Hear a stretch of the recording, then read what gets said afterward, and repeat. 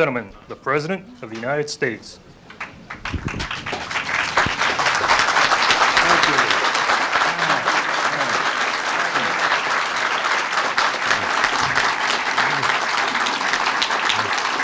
Thank you.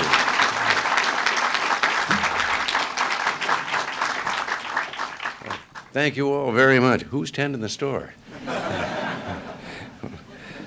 Connie Horner and ladies and gentlemen, good morning and welcome to the White House. We've assembled today to, if some of you think that's strange, I always have to explain that. I had to have it explained to me that, that they technically call this the White House. I know we're across the street.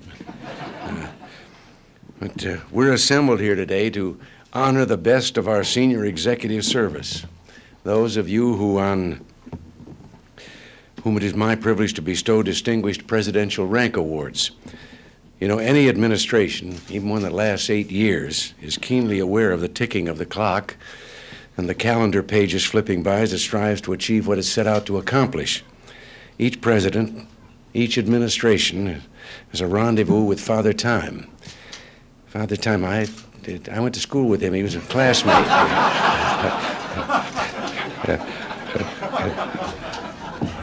but the clock is ticking, and even as our administration has called for government to play a more limited role in American life, we've worked hard to see that government performs its legitimate functions with greater diligence and efficiency. It's men and women like you who have made this vital effort successful.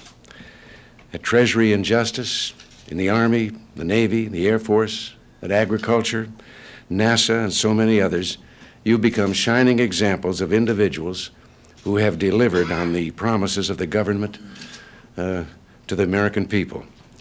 Now, time won't permit me to discuss each of your achievements, but I do want to mention just at least a few. One of you's fought crime by developing a program to help cut drug smuggling in Miami. Another helped put Americans on the moon and is now working to make NASA's space station a reality.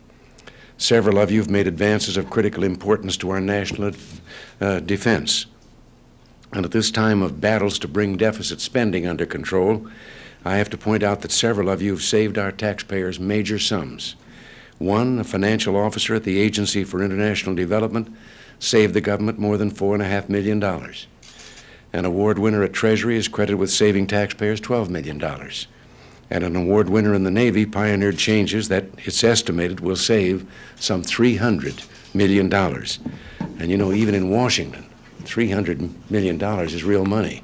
uh, but even more important than these specific savings and advances, each of you has provided an example and inspiration to others in the civil service to work hard and to be more conscientious of the great trust that is shared by all in public service. Through your personal achievement, you, whom we offer honor today, have improved the lives of millions of your fellow citizens throughout our nation. And these awards represent the appreciation that each of us feels for you having accomplished so much for so many. On behalf of all Americans, permit me to offer my heartfelt congratulations on a job well done thank you all, and God bless you. And now, Connie, if you'll get up here and do your chore, I'll step over here and do mine. Fine, thank you. And it's a wonderful chore. We'll now call forward the award winners one by one to receive their awards from the President. From the Department of Agriculture, R. Max Anderson. Excuse me. Thank you. Very much. That was Max Peterson. From the Agency for International Development, Curtis W. Christensen.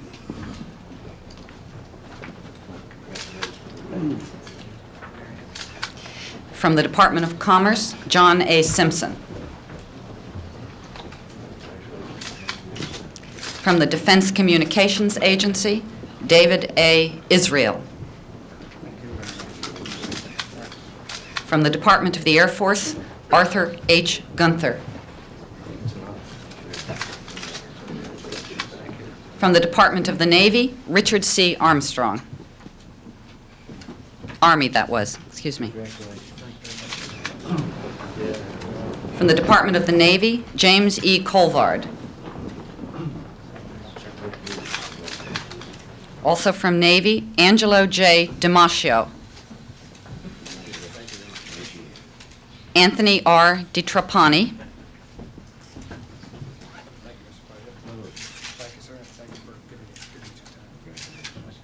And from Navy, Richard L. Haver. From the Department of Energy, Robert M. Forcel. From the Environmental Protection Agency, Valdis V. Adamkus. From the Federal Communications Commission, James C. McKinney.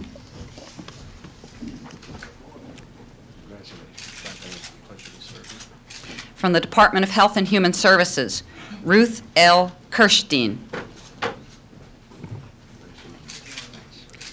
From the Department of Housing and Urban Development, two winners, Robert I. Dodge III and William Y. Nishimura.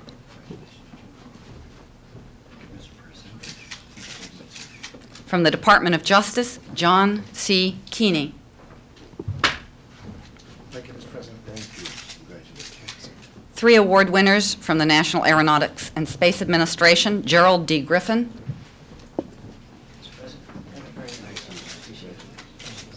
Samuel W. Keller,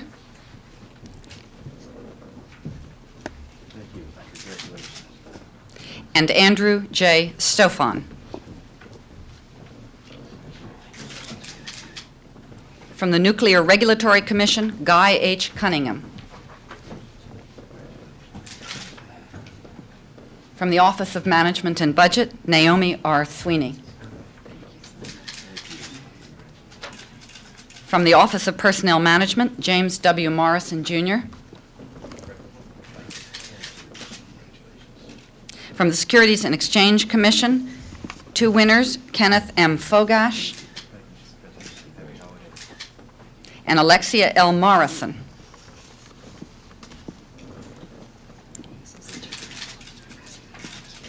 From the Department of State, Michael G. Kozak. From the Department of Transportation, Barry Felrice. From the Department of Treasury, three winners, Robert N. Batard, Margery Waxman,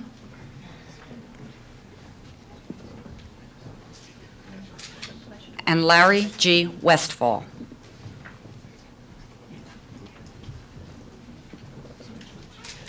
And finally, from the United States Information Agency, Stanley M. Silverman.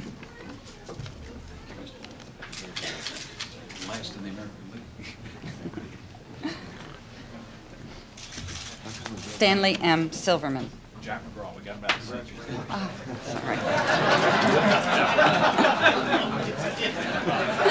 sorry, Charlie.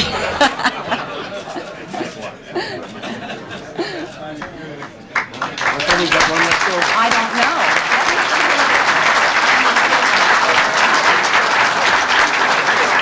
Is, is Stanley Silverman here? Stanley, come on, Stanley, come up and get, you got it? You, do you know we have two for you? You must have done a wonderful job. All right.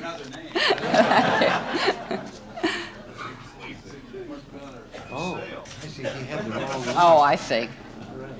This is important, and we're going to get it right. Thank you again, Mr. President. Thank you very much.